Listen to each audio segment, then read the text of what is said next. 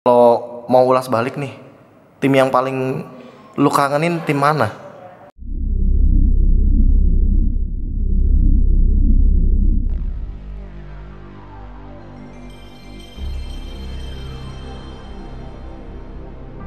Satu.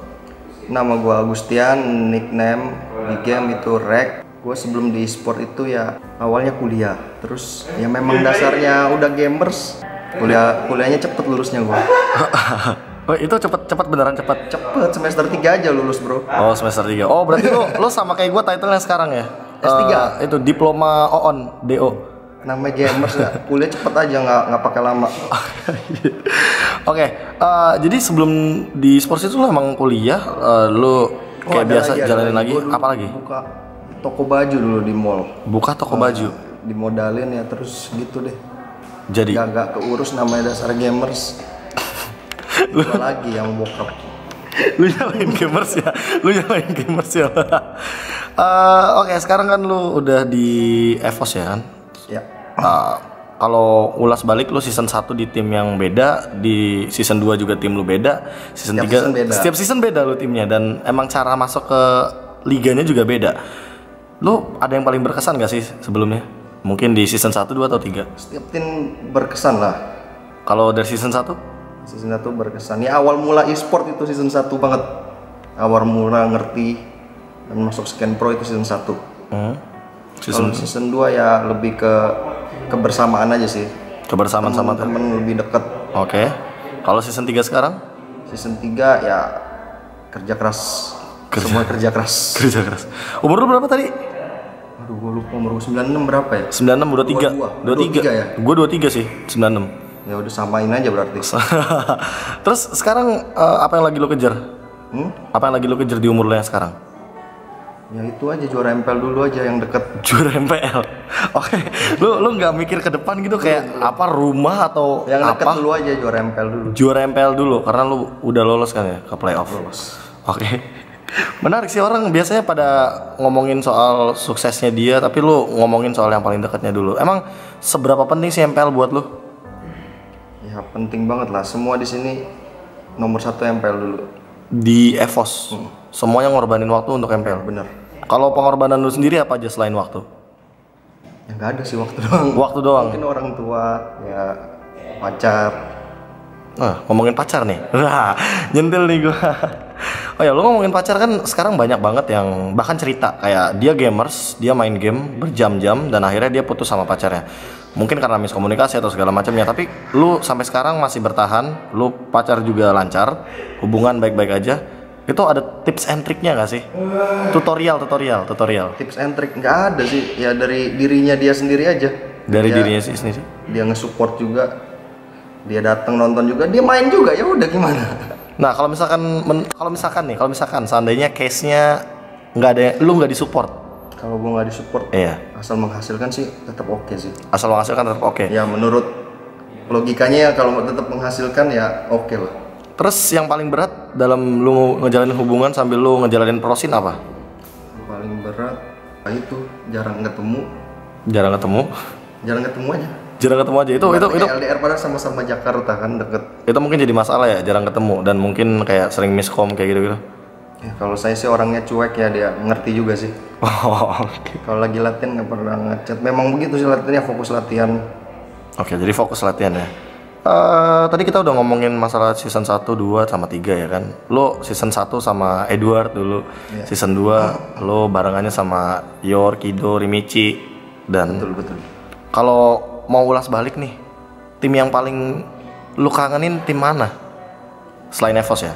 Ya mungkin ya yang kedua sih kalau awal-awal kan ibarat kayak masih anak kecil baru numbuh e-sport gitu kan yang yang kedua lebih berkesan di mata. Yang kedua lebih berkesan. Nah, nih sambil gue senggol lagi, lu tadi sempat ngomongin kayak anak kecil baru nongol di e-sports. Ya, itu anak kecil baru nongol Nah, sekarang eh, lu setuju nggak sama kata-kata gua kalau seandainya gua ngomong e-sports di Mobile Legends itu pro playernya kayak anak kecil yang belum disuruh yang belum bisa lari tapi disuruh lari. Karena kayak lu bisa lihat sendiri sekarang banyak banget orang yang pro player muncul digaji tapi kayak performanya agak sedikit kurang ketika dia sebelum muncul sebagai pro player. Oh itu mah antara setuju nggak setuju sih kan di pro scan itu sama di rank beda banget kan orang biasa ngambil player itu wah di rank nih jago nih. Dites dulu beberapa kali mungkin paling lama seminggu ditesnya lah belum kenal. Kalau tim pro itu kan harus kenal lama nggak peduli dia jago atau enggak yang penting ya kenal deket lah tahu pola pikirnya. Oh lebih kayak ini ya, ya kayak kebersamaan sih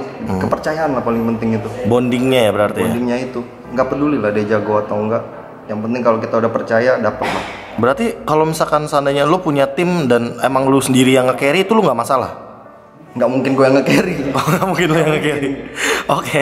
Karena kan eh, lu sendiri lu, lu tahu sendiri lah title lu reaksi petani kan. Lu bener-bener jadi carry dari MPL season 1 sampai sekarang. Tapi eh, sempat lu jadi tank. Itu berat nggak sih buat lu? Nggak, nggak sama sekali sih gua emang udah basicnya dari awal main game itu MOBA ngerti-ngerti aja sih mau support, core, tank sama aja lah, Sama aja. sama aja.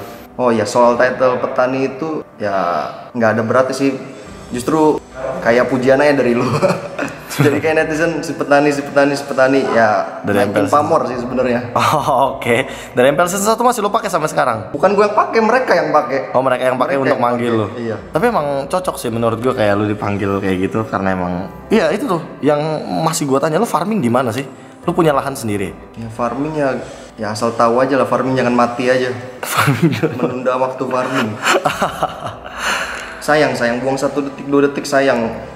Oke. Timing jungle hafalin, creepland, wave, liatin minimap wave terus yang bener penting sih. Oke oke. Terus kalau pandangan lu sekarang soal publik yang merasa bahwa dia berhak untuk mengomentari apa pun yang ada di prosin, kayak dia ngomong A dan mungkin lebih bukan ngekritik sih, tapi kayak ngehina, ngejatuhin. Oh netizen netizen Ayah. botol itu ya.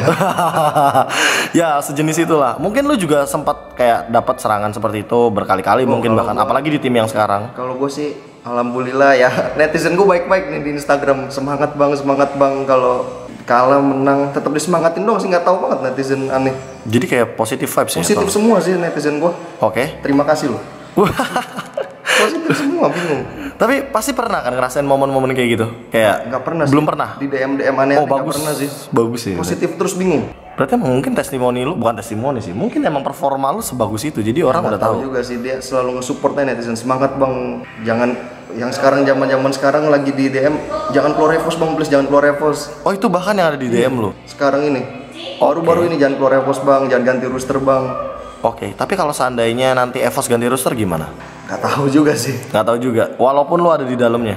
ya itu keputusan dari manajemen aja sih Oh, jadi Kita lu player cuman ya menikmati manajemen yang bagus aja lah kurus banget lah pokoknya Tapi emang menurut lu dari season 1 2 3 emang lu paling kurus sekarang? wih Oke. Gue bisa lihat dari perut lu sih. Ini berarti kurus banget jawabannya. kurus banget sekarang paling kurus sekarang Apa perbedaannya yang paling signifikan antara tim lu season 1 2 dan 3? perbedaannya kalau season itu ya kayak gitu bocah baru kenal e-sport kita berlima lah main-main Itu dari manajemennya juga tuh. manajemennya ya sama nge-support nge-support ya udah baru awal disupport dikasih PC gaji lumayan Hmm. ya cuman kita yang kayak anak bocah lah Oh, masih pengen lebih. ya gitu lah, kayak anak bocah lah masih main lebih sih ya masih main-main aja ibaratnya Oh, iya. serius Nggak fokus lah ya. Kalau yang kedua itu lebih ya ada yang try hard ada yang juga masih belum serius Hmm. ada yang uang ya ke- tapi lebih kebersamaan juga kalau yang terakhir ini ya lengkap lah semua lah Lengkap semua. lengkap semua Lu merasa ini bakalan jadi destinasi terakhir lu nggak sih? harusnya Harusnya. Kalau dari hati lu sendiri. ya harusnya di sini Kenapa? ya nyaman Nyaman aja. nyaman Lu nggak ada kata-kata lain. kurus kita dari perut kelihatan nyaman ya udah. Oke, jadi patokannya tuh perut buncit. Berarti kayak Valdo juga sama gitu ya. Dari awal buncit malah tambah buncit di sini. ya begitu nggak ada yang kurus bentar lagi hotel itu yang dua Dan eh, mungkin banyak juga yang apa ya pengen tahu opini lu gitu. Kalau seandainya apa sih yang ada di otak rek kalau ngomongin rek plus 4 sempat apa maksudnya plus 4 orang. Jadi maksud gua lu bisa bayangin gak sih kalau seandainya lu bisa ngepick tim lu sendirian dan empatnya itu lu yang pilih. Lu mau milih siapa aja? oh player ya Iya playernya. ya sekarang ini Yang sekarang ini sekarang ini semuanya semuanya Ah, dengan alasan kekeluargaan. enggak Apa? karena ya kita udah percaya aja bukan kekeluargaan beda keluarga kita ini baru kenal nggak mungkin keluarga lah Oke. kita baru kenal kita udah saling percaya aja Tapi lu udah percaya sama-sama tim lu? percaya Padahal di, di luar sana netizen-netizen banyak yang keluar-keluar soal EVOS banyak yang harus diganti roster bla bla bla bla bla bla. Tapi lu nggak peduli. memang banyak banyak sih Listi juga cerita banyak yang ngehujat tapi di gua nggak ada tapi gua memang orangnya cuek yang nggak peduli sama sekali Oke, jadi emang pengennya lu fokus main aja gitu. ya fokus main aja Oke. Kalau seandainya gua nanya yang agak sensitif gimana ya? Gue pengen banget nanya kayak gini. Kalau seandainya EVOS ada ganti roster dan yang stay itu adalah lu sama Valdo, gimana perasaan lu? Padahal lu udah percaya sama mereka. Tiga orang ini. gimana perasaan gua Ya, karena kan sekarang gua gua gua coba jadi netizen ya karena katanya kata netizen kan, oh ini mau pindah, ini mau fokus ke ini, ini mau ke A kayak gitu kan. ya mungkin gua bakal bilang ke manajemen Evos ya kalau mau ya kelar season ini Kalau mau kelar season ini digantinya Mesti gitu. dikelarin dulu ya Oke. Lihat ke depannya tergantung keputusan manajemen kalau itu kan kita udah sign kontrak bener-bener udah di tangan manajemen ini lah Evos Oke. Terus kalau seandainya lu udah nggak diperpanjang kontraknya sama Evos, lu mau ke mana? Ada tim nggak yang gue pengen banget nih main di sini? nggak ada sih Nggak Ya ada. tergantung aja yang selama gue masih dibutuhkan ya udah gue ke mana aja lah Selama lu masih dibutuhkan, lu bakal ke mana aja? skill gue masih mencukupi ya sampai e-sport ini kelar lah Tapi lu sadar gak sih lu sebenarnya sangat sangat punya skill di bidang ini? nggak tahu juga sih Lu bahkan nggak tahu. nggak tahu juga What the fuck? cuman main basic-basic aja kan dari awal main game memang game MOBA cuman tahu basic-basic aja Tapi banyak orang yang pengen punya pola main kayak lu loh padahal. masa Iya, contohnya gue mungkin karena gue nggak bisa main seluas itu. ya Tapi itu lu dari nggak sadar. pengalaman aja sih Be. Oke, pengalaman. Jadi pengalaman banget sih menurut lo tiga season di MPL ini lu nggak ada pengalaman sia-sia ya? nggak ada ya setiap season itu ya pasti makin improve makin improve kalau nggak makin improve nggak mungkin gua tetap stay kalau gua udah ngedown banget nggak mungkin gua tetap stay Oh pasti lu bakal sadar di mana waktunya lu harus cabut gitu ya. Oke kalau gitu eh, ada kata-kata terakhir mungkin buat yang ngedukung lu terlebih dahulu. tetap support gua ya dan cukers Jancukers.